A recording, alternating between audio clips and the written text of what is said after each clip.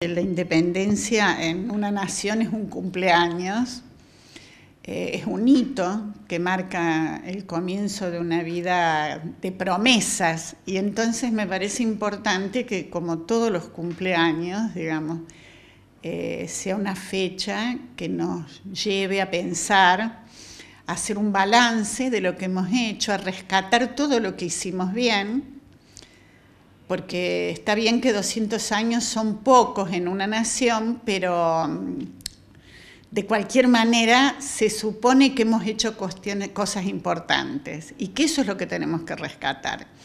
Y proyectarnos al futuro. Y creo que una nación, el desafío más grande que tiene eh, es proyectar un futuro de igualdad. Me parece que es uno de los valores que más debemos rescatar hay grandes discusiones en las ciencias sociales, eh, los conflictos que se originan entre la igualdad y la libertad, pero creo que hay casi un acuerdo generalizado en que la lucha más importante que deben librar los países es el de la igualdad en libertad.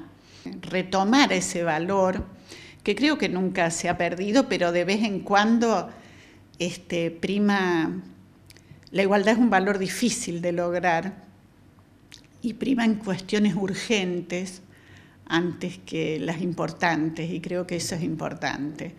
Y creo que estaba en la mente de nuestros, los fundadores de nuestro país.